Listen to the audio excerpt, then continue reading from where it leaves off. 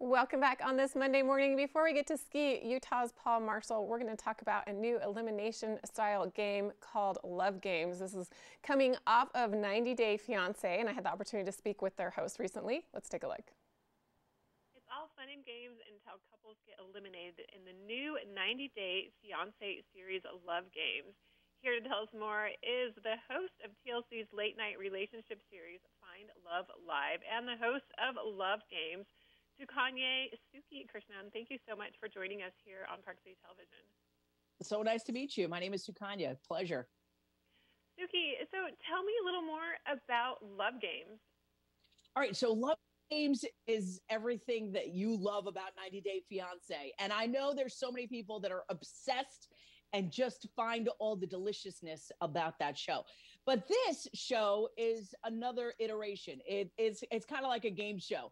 So I'm your uh, host, and we get to meet up with all of these people that you've fallen in love with in seasons past. And we put it into a little game show format where they compete for points. We go through rounds, and then they win the ultimate uh, bragging rights, which is the Love Game Trophy.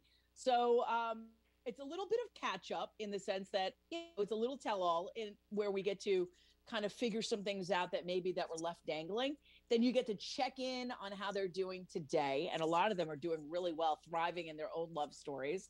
And we get to have fun where i get to ask probing questions where we get to um, you know answer some things that might be a little uncomfortable a lot of funny and a lot of spontaneity. Sounds like a lot of fun. And you mentioned you're catching up with some of your favorite couples that many viewers already know and will be excited to learn more about. And the challenges, the games are all being done in the different couples' places where they live, correct? Yeah, and that's what it was. It was shot in real time during the pandemic, in the heart of the pandemic last summer, and so there was a lot going on, you know. And and and, and TLC was very sensitive to the fact of keeping everybody safe during this time, and the best way to do it is through uh, all of the abilities that we have right now where we're able to come into each other's homes. So we shot it and with that comes a crazy intimacy right? You're in your home. You get to ask the questions and people don't feel so uh, protective maybe of their answers. So you get a little bit more honesty.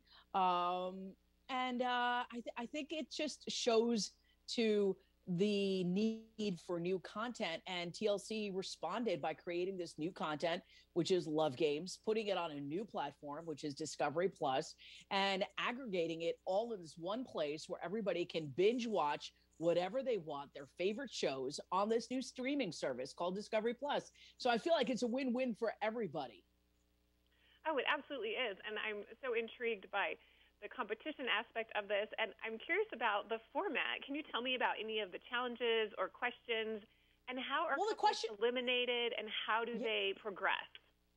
All right, so the questions it starts out with 24 couples in first round 1. So the the winner of the first round moves to the semifinals, right? The second place winner goes to the wild card round and the third person the person that comes in third place unfortunately is eliminated.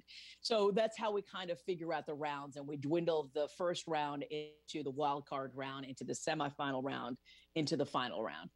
Um, so that's kind of how we build it out.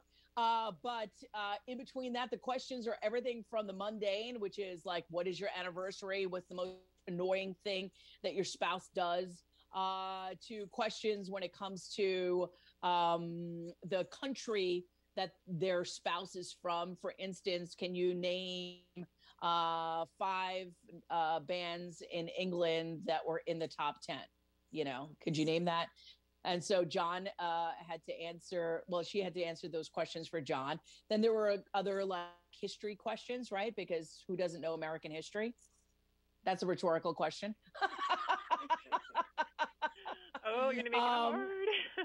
yeah, I mean, so listen, it's it's got all of those nuance factor of maybe a show, uh, as in a game show, but then it's got other fun facts like you know a 90 Day Fiance and the couple itself. So you get to walk through all of those little channels uh, with me. And listen, the bottom line, it's a half an hour. It's a lot of fun. Uh, you get to check in on them, and it's, it's just a moment to escape. We all need moments to escape these days. And what Discovery Plus is doing is offering you a one destination to go to uh, to find some of your favorite shows. And my show, it happens to be a new spin on your favorite 90 Day Fiance franchise. I love it. And then the winner gets a trophy, bragging rights. Anything else? Uh, just bragging rights because you know what? The 90 Day Fiance family, very competitive. They really are. they want to be the best, the top of the top. They want to be the fan favorite. And um, what they created was all of these people that fans love in one place. So these are some of your favorite couples in past seasons coming together uh, and and fighting for bragging rights. I mean, listen, who doesn't want a trophy? I'm just going to say this. I need a trophy, don't you? I, I the daffodils. I agree. Trophies are the best, especially right now. Exactly. Well, thank you so much Sukanya for joining us today on Park City Television. You can watch Love Games on Discovery Plus.